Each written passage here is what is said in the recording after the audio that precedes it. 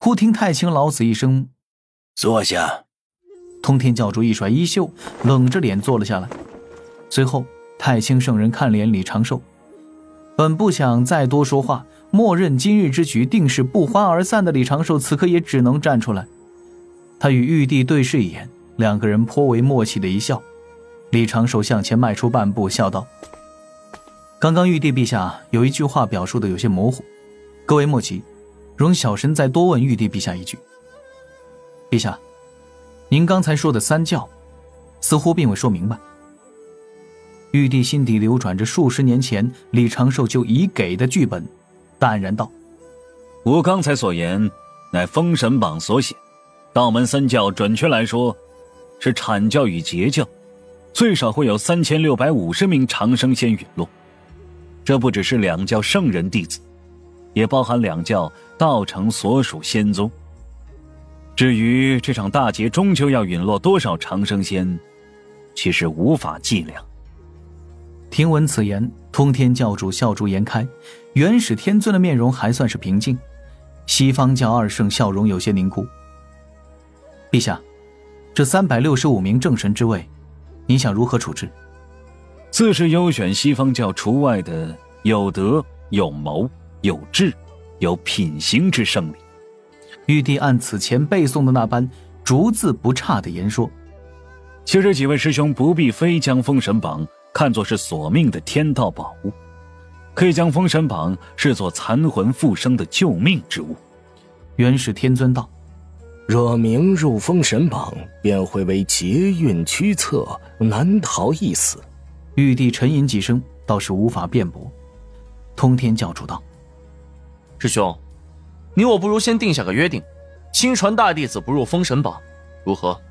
师弟，此事怕是难以说准。那接引道人在旁插话：“听玉帝陛下之意，这清福正神之位，无我西方所属。不错，可是封神榜如此彰显？不是。”玉帝淡定的道了句，盘坐在蒲团上，星目运光。笑容温和，缓声：“是无定下的此事。”接引眉头一皱：“玉帝陛下，未免欺人太甚。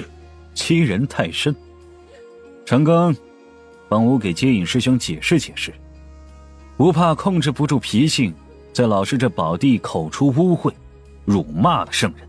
是。李长寿答应一声，向前踏出几步，对西方教二圣做了一个道揖。面色颇有些为难，李长寿皱眉：“两位圣人老爷莫怪，小神也只是陈述实情，并非有意针对。此前天庭不兴，西方教处处为难，龙族氏、妖族氏，两位圣人老爷纵容各位西方教弟子为非作歹，与天庭开战，又大搞香火神教，名声实在是……若此次大劫有西方教弟子入天，做了天庭正神。”这让天庭已有正神该如何想？让龙族该如何想？让三界生灵又该如何想？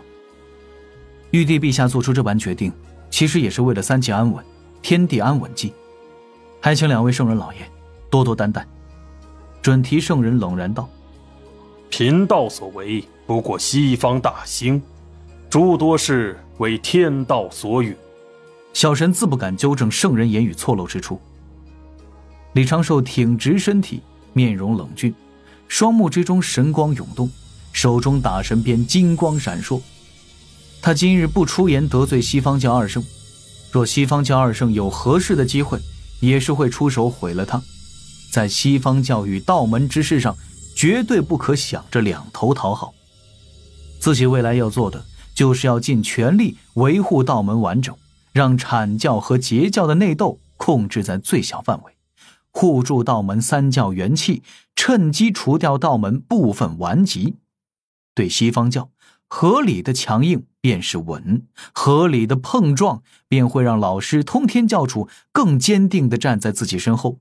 于是李长寿开口了：“但若为自身大兴，可毁其他道者；可肆意打压为三界带去秩序、庇护弱者的天庭；若为自身大兴，可随意欺压弱小生灵。”可将本生活安乐的凡人看作牲畜。若为自身大兴，肆意更改生灵轮回之事，凡事无所不用其极，强行增加自身底蕴。大兴之后，又能得到什么？两位，时代变了。接下来，此地将由玉帝陛下主持，讨论道门入劫封神之事。两位是否要避一避？毕竟他日大劫正式发动，西方与道门应是对手。西方教大圣人闭目不言，小圣人却是皱眉凝视玉帝，看都不看李长寿，更别说甩袖离去。那，我呢？女娲圣人在旁含笑问着。李长寿顿时露出笑脸，对女娲圣人做了一个道揖：“啊，师说您是人族圣母，本次大劫始于人族，咱们人族更是天地主角。”自小师叔全程在旁监督，若天庭哪里做的不对，师叔您及时提醒。玉帝陛下对您也是颇为敬重。那是自然。玉帝站起身来，对女娲圣人做了个道揖：“师姐，若天庭在这次大劫中行事有半点不妥，还请师姐及时指出。”女娲不由笑眯了眼，在自己位置坐得稳稳当当，这君臣一唱一和。却是将几胜争锋的局面搅得一团乱糟。通天教主一声叹息：“这封神榜，师兄想如何签？”元始天尊缓缓站起身来，看向通天教主，淡然道：“各凭本事，各靠气运，此事今后再谈吧。”言罢，转身而行。广成子在后低头跟随，面容平静，毫无所动。元始天尊一走，这牵压封神榜之事已是无法进行下去。这虽早在李长寿的意料之中，此前也用可能会这种话事与玉帝陛下推演过几位圣人的各种商谈方式，但此事真的发生，也确实是让人颇感无奈。田明上封神榜，就相当于注定此人要被劫运环绕。几位圣人中，也就西方教圣人可能会做出这种事。谁家弟子不是弟子，不是一场场讲道解惑培养出来，要传承自己衣钵的？通天教主对弟子看重，元始天尊对弟子也颇为看重，这本无可厚非。所以李长寿和玉帝刚刚反复提及上榜能在大劫中活命，但效果相当的微弱。嗨，今天能控住封神榜和打神鞭，已是颇为理想的结果了。元始天尊说：“各凭气运。”这般其实也是对阐教较为有利的方式。毕竟阐教有镇压教运的宝物，门内多是福德金仙。元始天尊收徒奉行的三原则：根脚、福缘、气运，在大劫面前，确实是给阐教打下了足够的基础。至于元始天尊为何要与接引道人相见，且今日一直在针对截教，李长寿能理解，却不想支持。不管如何，太清老师对元始天尊与接引道人不喜，我稍后也只能站在天庭的立场上，跟截教、阐教保持距离。太清老师后面会帮阐教还是截教？原本的大劫中，老师是帮阐教的，但如今，老师只会帮优势明显的一方，由此护住道门的元气。全看后世如何发展，劫运如何操弄，而阐劫双方又如何应对了。李长寿抬头看向通天教主的方位，却见通天教主正皱着眉看着紫霄宫之外，目光略微有些复杂。但是很快就轻叹一声，缓缓闭上双眼。紫霄宫氛围又有些压抑，五位圣人保持着沉默，似乎就等太清老子一句“走吧”。多宝道人左右思量，还是从通天教主背后走了出来，小声问：“大师伯，玉帝陛下，这次大劫到底怎么进行？”太清圣人缓声：“天机彰显。”大劫应于南州俗世，其余并无太多讯息。此次大劫起于凡人，应于南州，也算合乎情理。反倒是大劫落下，也不知要有多少凡人会无辜遭殃。各位师兄师姐，你我在这紫霄宫中，不如先定个约定：生灵大劫注定死伤惨重，但凡人本就微弱，并非大劫之起因，又得天道庇护。还请各位师兄约束门人弟子，不可滥杀凡人。凡人死伤数十万，也抵不过一名长生仙陨落对天地减轻的负担。大劫也是炼气士的一道考验。玉帝陛下所说有理。接引道人睁开双眼，露出淡淡的微笑。贫道自会约束教内弟子门人，不去南州之地行走。李长寿心底暗自摇头：“哎呦，这圣人变脸的速度当真太快了些吧？”玉帝含笑点头，目光看向元始天尊的空位。走吧。太清道人开口道了一句。其他几位圣人身周各自泛起流光，已是要自紫霄宫中离开。李长寿立刻要走回太清老师身后，但是玉帝开口道：“太清师兄，长庚可否多留一阵？吾想与他商谈这封神榜安置之事。”善。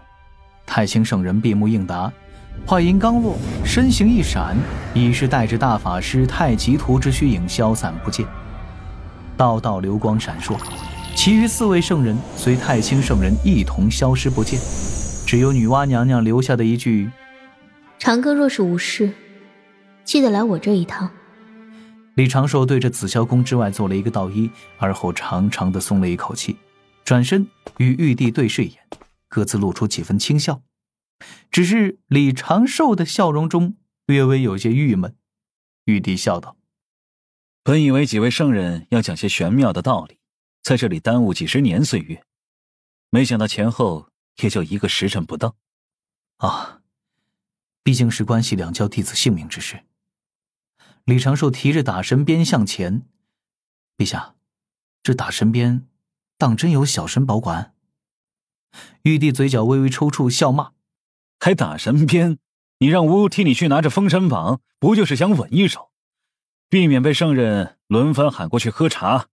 笑骂声中，玉帝朝着侧旁挪了挪，将自己的蒲团露出小半。我来做。李长寿却是不敢真的过去做，对玉帝做了一个道揖，盘腿席地而坐。隔着布料的清凉，让他想起了刚才那有点糗的画面，禁不住抬手扶额。哎，道祖故意的吧？这也太平，这也太平易近人了。长庚。阐教圣人咋想的？我也拿不准，不过总归不可能是傲娇什么的。李长寿沉吟几声道：“嗯，二师叔可能是想把截教整肃一顿吧。”正此时，侧旁传来一道声音：“元始就是那般性子，觉得通天走岔了路，就要去帮通天修正过来，操心比谁都多。”每次都落不下什么好名声。李长寿浑身瞬间僵直，玉帝连忙站起身来。那座巨型蒲团上，道祖那魁梧的身形毫无征兆的再次出现，仿佛此前从未离开过一般。玉帝抬手拽了李长寿一把，让李长寿能够及时起身，一同对着道祖做道揖行礼。道祖似笑非笑的看着李长寿，目中略带玩味。李长寿低头不敢对视，心底在微微抽搐。我刚刚为啥没坚持跟老师一同离开呢？九成八。道祖微微眯眼。今日怎么不提功德之事了？啊，弟子才智浅薄，自不敢跟师祖相较。师祖不给弟子这两笔功德，自是有所深意。弟子听命就是。老师。长庚凝聚功德金身，可是有什么问题？哦，他不是喜欢九成八吗？一切刚好，九成八的功德金身，岂不妙哉？李长寿双腿一颤，差点就给跪了。玉帝额头挂满了黑线，又扭头看去，肩头一阵耸动。红军道祖笑道：“让昊天将长庚你留下，是有些事。”需要提前交代给你。昊天先行回返天庭，安置封神榜，且让长庚在紫霄宫盘桓一二。玉帝虽不明所以，但还是躬身做了一个道揖，给了李长寿一个加把劲儿的眼神，拖着封神榜，天地印玺，快步而去。李长寿就很懵。如果非要用一个字来形容我此时的心情，那就只有这一个字：懵。玉帝开口是道祖指示的，道祖单独将我留在紫霄宫中，说是有什么要事要交代。该不会是有什么神展开？红军道祖稍后开口就是一句带着浓浓地方口味的：“咦，乐啥？”似是能够窥破李长寿心底的想法。道祖红军在玉帝离开紫霄宫之后，手指一点，紫霄宫各处被金光笼罩。李长寿瞬间就感觉自己与洪荒天地、自身与大道的关联全部消失，比六道轮回盘的格局还要彻底。我，我莫非是要被道祖修改魂魄，彻底变成天道的傀儡了？这，这……红军道祖身周泛起道道亮光，那魁梧的身形化作常人大小，看起来更为慈眉善目了一些。